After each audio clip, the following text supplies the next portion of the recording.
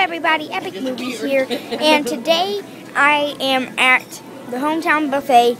Something about my vlogs and buffets lately, and I forgot to do this. So there's my food. There's my other food, and it's actually pretty good. I like it, and I haven't been here in a while. Hometown buffet. And it's very, very good, you know. And Last year on my birthday. if you haven't ate here, check it out. It's good. When we go? Here.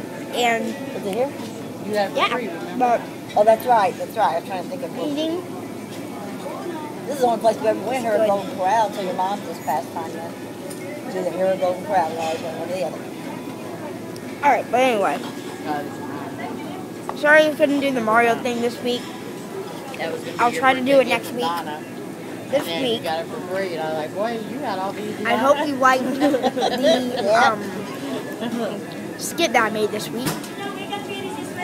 And yeah, I will see you guys in a little bit. For dessert, But she said she's Let's- going to go tomorrow and talk to the other mom or something like this. Can't be back. dessert, pumpkin pie, some she said she doesn't want no, ice cream. Like me and David's now, and then when the baby's born, things get tight for David. They say we're trying to raise three kids. I will see you guys. This is EpicMoviez signing out. Make sure to leave a like, favorite, and subscribe. If you comment, I might even comment back. And I will see you guys later.